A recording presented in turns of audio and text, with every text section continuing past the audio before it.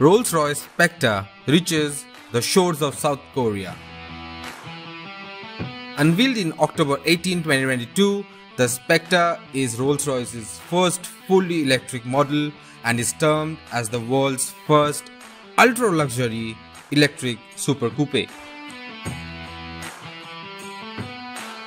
According to Rolls-Royce, the Spectre has a range of 520 kilometers and is powered by a 430 kilowatt powertrain that produces 577 bhp of power and 900 Nm of torque. The Rolls-Royce Spectre can accelerate from 0 to 100 km per hour in just 4.5 seconds. And it is based on the same platform of Ghost and the Phantom Coupe. Prices of Rolls-Royce Spectre start at 620 million won, which is equivalent of $4,86,000 or rupees 4 crores in Indian currency. Deliveries of the car is expected to start in Q4 of 2023, which means this car will be available later this year.